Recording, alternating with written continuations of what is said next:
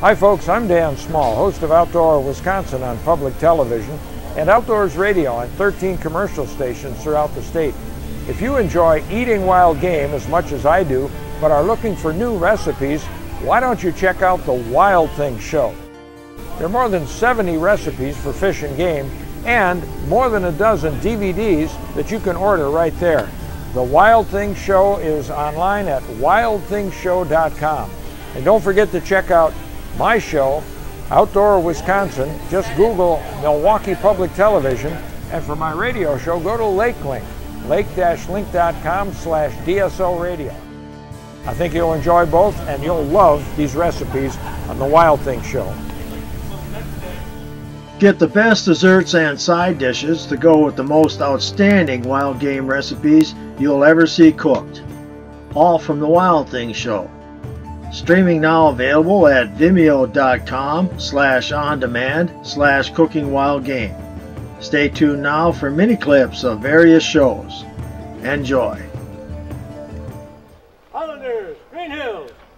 On the right, quick, march.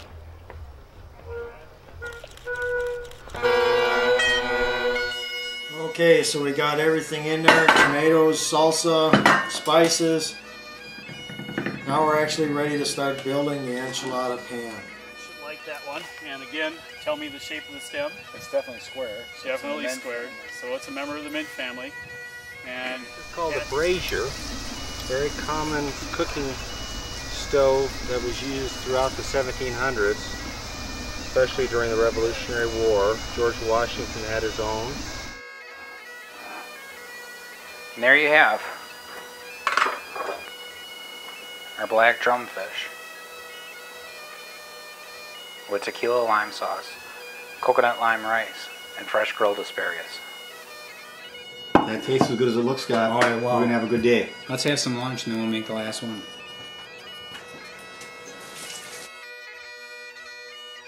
And what I'm going to do today is grind up some more of my venison that was left over from the last couple processing jobs. And I'm going to take 10 pounds of that venison and turn it into Italian sausage. An Italian sausage is what we used in uh, Cook Show 1 on the pizza.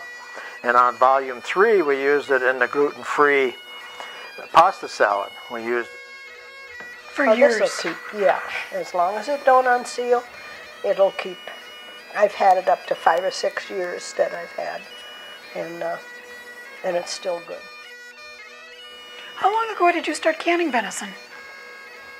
Uh, you just have to do that uh, Long time? a long time. I canned venison with my mother when she canned venison all the time. Oh, okay. And we used to have maybe a hundred quarts. basically we're going to take the head off now. So we just want to come in here and find where we're at again. Right through the backside of these gills. Alright, all we're doing here is we're going to give our fish a turn. Looks like it's cooking really well. It's been on about two minutes here. Oh, we started cooking this like 40 years ago. So I've burnt a lot of them in that length of time. it's our favorite thing to take when we're out and we can't carry fresh bread. Is, is to make up some bannock bread. Go ahead and turn them just in case. I need a little more time. And again, turn one one way, the other way. Look. Beautiful biscuits. Better? They are done. Better? Going to take them off. No, not yet. I think we'll let people butter them as they want them. And I have Heather with me today. And Heather's got this fantastic Irish outfit and a fantastic Irish wagon. And she's going to be cooking for us today Yes, I'm going to make some wilted lettuce.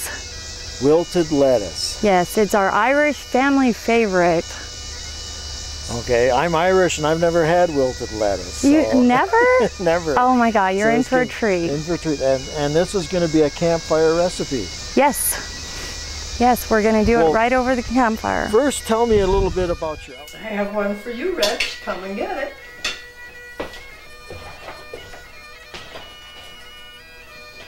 Now, this is the best part of this job. You can't get flavor like this out of the kits. If you want good flavor like this, you have to cook from scratch. And this is our Hasselback potato, our walleye with citrus dill, white wine and butter, and our creamy avocado dressing. Hi, I am Artis, and uh, I'm going to show you here my great grandma's recipe of venison.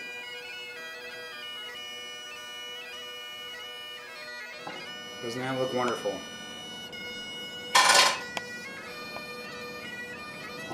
We have our oven roasted asparagus, our Jack Daniels steak, and our gorgonzola potato pie. These are all things that we put together today. We today we made a sun-dried tomato and Kamala crusted salmon on a bed of garlic spinach with an apple and sweet potato hash with fresh fennel in it. There are over 70 recipes uploaded for the Wild Things Show Season 1. To view all of the previews and find many free recipes, go to our website at www.wildthingsshow.com. For full anytime access to all of Season 1 and upcoming Season 2 video recipes, subscribe to vimeo.com slash on demand slash cooking wild game. Then click on the Get Updates tab to receive emails as new Season 2 recipes become available.